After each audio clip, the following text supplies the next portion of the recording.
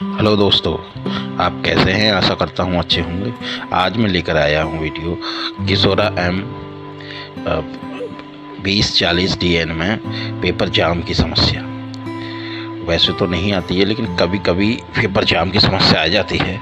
तो आपको front side खोल के देखना है। ये वाला फ्रंट साइड जहाँ पर कोई पेपर तो नहीं फंसा है।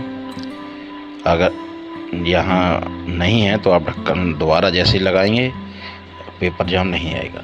यदि यहाँ भी नहीं है तो आप बैक साइड में देखेंगे, एक कवर है, ये वाला, इसको खोलेंगे, यहाँ भी देखेंगे, यदि यहाँ पेपर है तो निकाल देंगे, नहीं है, फिर भी जाम दिखा रहा है तो आप अभी भी जाम दिखा रहा है। इसका मतलब इसमें पेपर है अभी। तो आप फिर दोबारा फ्रंट साइड खोलेंगे, यहाँ बटन दबा के टोनर इसको बाहर निकालेंगे टोनर बॉक्स को। इसका टोनर का जो केस है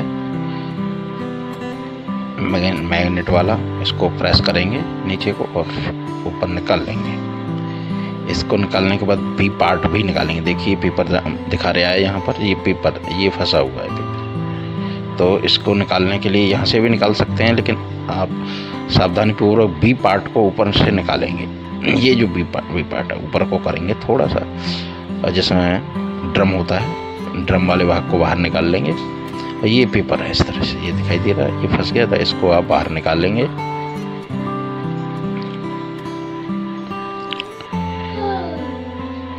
इस तरह सावधानी पूर्वक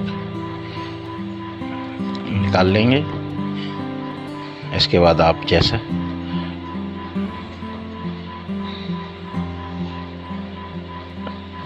पहले जो ड्रम वाला पार्ट है, उसको बी पार्ट जिसमें भी लिखा हुआ है, उसको अंदर करेंगे। पहले बी पार्ट लगाएँगे।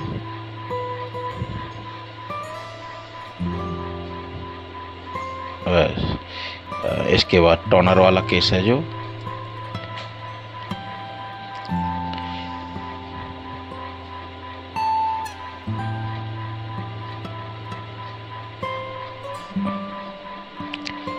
इसके बाद अपना टोनर लगाएँगे। टोनर बॉक्स और लोड कर देंगे। ये दोनों एक सीध में रहना चाहिए। एरो और उसके बाद ढक्कन लगा देंगे। फिर देखेंगे जाम क्लियर हो गया है। अब चाहो ये नॉन टेन जेनवर टोनर आ रहा है। इसका मैं वीडियो बना चुका हूँ। किस तरह से क्लियर करेंगे, इसकी जानकारी इसकी जानकारी आप पिछले वीडियो से भी देख सकते हैं। किस तरह से क्लियर करेंगे। और ये जाम आपका क्लियर हो गया है। वीडियो अच्छा लगा हो तो लाइक और सब्सक्राइब करें शेयर करें। कमेंट के माध्यम से अपनी राय मुझे देते रहें ताकि मैं मोटिवेट होकर के आपको इस तरह की वीडियो बनाता रहूँ।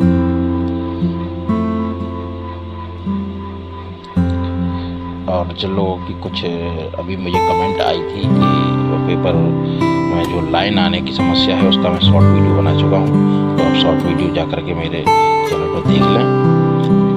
लाइन को किस तरह से क्लियर करेंगे? बस थोड़ा सा ट्रिक लगाना है और आपकी लाइन क्लियर हो जाएगी। ये लाइन आ रही है। इसका मैं वीडियो बना चुका हूँ। शॉर्ट वीडियो दे दिया है। उसी में आपकी लाइन क्लियर हो जाएगी। वीडियो अच्छा लगा हो तो लाइक सब्सक्राइब करते रहें। शेयर करें। धन्यवाद।